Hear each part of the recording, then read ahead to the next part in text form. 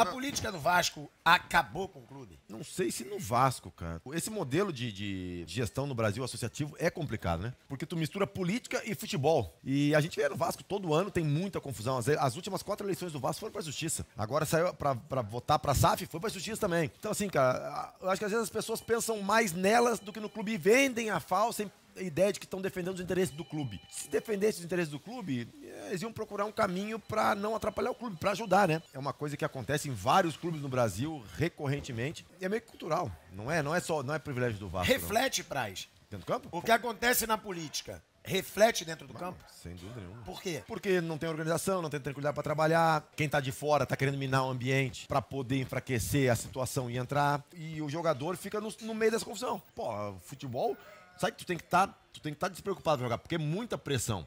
E aí tu tem mais essa pressão de dentro do clube mesmo, é um, é um fogo amigo, isso atrapalha demais, cara.